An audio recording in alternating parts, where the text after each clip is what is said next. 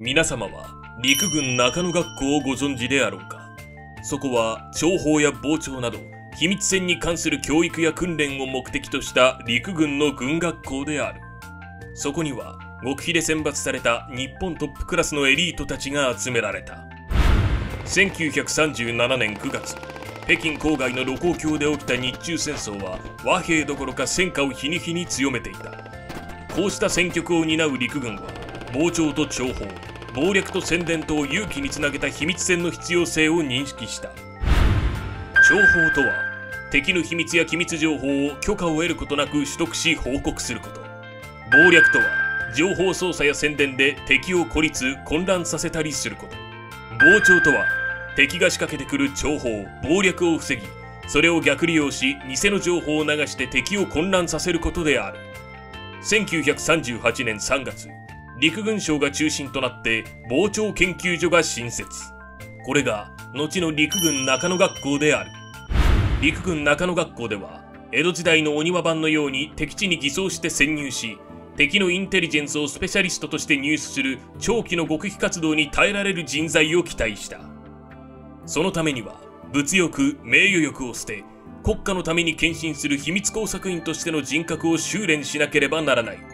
ここで陸軍中野学校の教育をご紹介しよう。教育内容は諜報謀略傍聴宣伝等の学科に合わせそれらの実行を裏付ける潜入先行義変破壊の術家であった。例えば獲得法なる術家では人心獲得と物件獲得の2つについて教育を受け実習する。人心獲得とは自分に対し浸水させ心底からの協力者を得ることであり下世話に言えば女性を自分に惚れ抜かせ完全に自分のものにして情報の協力を得るようなことである。君が知っている情報を教えてくれ。物件獲得は俗に言う置き引きなどの有力な手法である。相手が網棚に荷物を置いて座る瞬間に物件を交換するコツなどその道のベテランから講義を受け実習してみる。他にも拷問の演習も行われたという。各種拷問の耐え方心の持ち方話術による時間の稼ぎ方など十分にレクチャーされた。しかし自分がスパイである動かぬ証拠を突きつけられた土壇場においては常時携帯している毒薬で自殺するよう教育された。これらの手法手段は民族のため国家の利益のためだけに使うべきであって個人的な使用は厳しく禁止された。時間をかけて精神教育が徹底され無視無難な境地への到達が説かれた。陸軍中野学校ではこれを誠の精神と称し精神教育の柱としていた。授業の教科書は教官が全て自分で書き下ろし活字当社のプリントを使用した。もちろん一つの科目が終われば教科書は返納し手元に残ることはない。ノートを取ることは自由であったがそれは自己の理解を助ける整理のためであって保存のためではない。むしろノートを取ることはいささか軽蔑に値することであった。陸軍中野学校では話を聞く質問をする。その一刻一刻が勝負なのである。実地の勤務でノートやメモに頼ることは致命的な災いの原因となる。さらに教官側から授業内容の理解度の試験を行うことはなかった。緊迫化する秘密戦に打ち勝つには聞いた知識や理論から直ちに次なる対応を頭でまとめる必要がある。ノート取り試験やテストは批判されるべきものとして扱われていたという。学生は入学時に今まで着ていた軍服を兵務局に預け学内外で背広の着用を命じられた。一見して軍人とバレるのはスパイ失格であるため一般人の中でも目立ちにくいように長髪でいることが推奨されていた。そのため里帰り時にはなんだその頭は？ち違うんだ。これには事情が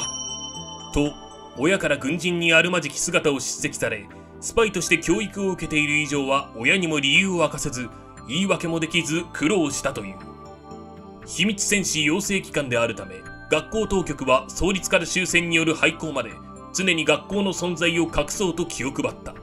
学校の表札は陸軍通信研究所であり職員学生の面会手紙は直接学校宛てにすることは禁止され全て参謀本部宛てとした。ある日教官がこう言った。諸君はどのような手柄を立てても勘定も勲章ももらうことはない。靖国神社に祀られることさえ望めない。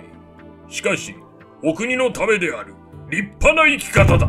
これほどまでに軍人としての存在が隠密にされインテリジェンス工作の壮大な実験に自らの生命を使うことが要求された。さらに陸軍中野学校における教育内容の特徴的なことの一つとして天皇についての議論が挙げられる。当時の軍隊内や一般国民に対しても広告士官が絶対であったが陸軍中野学校では天皇についての議論が許されたという証言がいくつもある。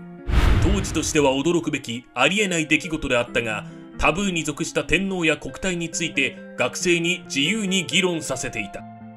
戦争末期においても民間ではタブーだった日本は降伏すべきか玉砕すべきかといった議論を教官と学生の間で話し合ったりするなどその自由さは異例であった。適正語たる英語使用の自粛も全く行われずむしろ諜報能力を要請する関係から外国語の技能は必須であり英会話することを推奨された。一般の軍隊では許されなかった議論が中野校内では許されたのは中野キャンパスという極限した空間で密封できるとの自信があったからであり一種の兵器演習として施行させるためでもあった。中野学校の学生は名誉や地位を求めず日本のステイシとなって朽ち果てることを信条とした。日本軍一般の教育とは異なり生きて旅衆の恥ずかしめを受けてもなお生き残り二重スパイとなって敵をか乱するなどあくまでも任務を遂行すべきよう教育された。中野卒業生の一人尾形義行は予備士官学校では国のため陛下のために死ねと教えられた。ところが中野学校に入ったら死んではいけないと教えられた。片手片足片目になってもいいから帰ってきて報告せえって言うから初めは戸惑った。と語った。最後の日本兵と形容され戦後30年もジャングルにとどまり続けた陸軍中野学校二俣文校卒小野田博夫も。どんなに生き恥をさらしてもいいからできる限り生き延びてゲリラ戦を続けろ。二俣では捕虜になっても構わないと教えられた。という。捕虜に対する考え方にも一般軍人に叩き込まれた方針とは大きな違いがあった。日本軍に密かに設立された秘密戦士養成機関陸軍中野学校。陸軍中野学校の卒業者はパレンバン、レイテ、沖縄など世界の至る所で諜報、謀略に目覚ましい戦果を上げた。あまり知られていない事実であるがインドネシア独立戦争やインドシナ戦争をはじめとする戦後の東南アジアの独立戦争は陸軍中野学校卒業生が多く携わった。それは7年という短い期間で世界を大きく動かした組織と言えよう。